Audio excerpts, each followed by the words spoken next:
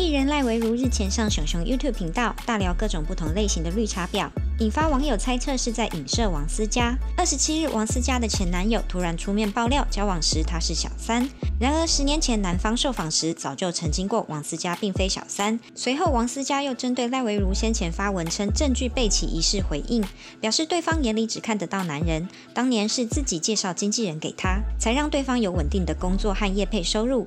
没想到对方后来耍派头，说不想一起录影。而谈到感情的事，王思佳又再一次炮轰：“我的事情别装懂，打小三请从身边做起。”暗示目前赖维如身边也有好友当小三，而对方指控他偷朋友，他则回应是因为人家都看不上你，只喜欢我怎么办？更称自己遭对方封锁。王思佳最后喊冤：十年前莫名变小三，当年的凶手呼之欲出，看这出烂戏可以结案了。一大篇长文引起许多网友热议。